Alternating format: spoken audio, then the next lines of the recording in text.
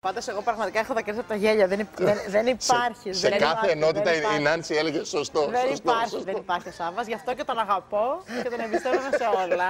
Και γίνεται πρώτο σιγά που λέει. όχι, όχι, η πρώτα σκουμπαριά. Awkward. Δεν νομίζω θα σε βάλει, έχουν προλάβει άλλοι. Θα το βάλω εγώ.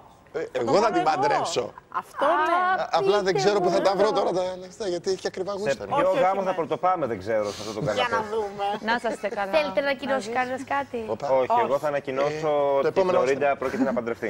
Οπα. Θα ήθελα η εκπομπή μας να στεγάσει αυτή την είδηση. Φλωρίντα, θες να σε παντρέψω εγώ; Όχι.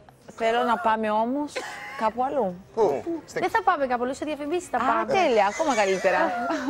Λοιπόν, τα δώρα μας συμμετέχετε γι' αυτά; Δεν έχω δει τις συμμετοχές σας. Τι γίνεται, θα Σοκ. τις δω. Σοκ. Και δέος. Σοκ. Έχουμε δύο υπερ Όχα. συσκευές. Αυτό ήταν, δεν έχω άλλο. Από τη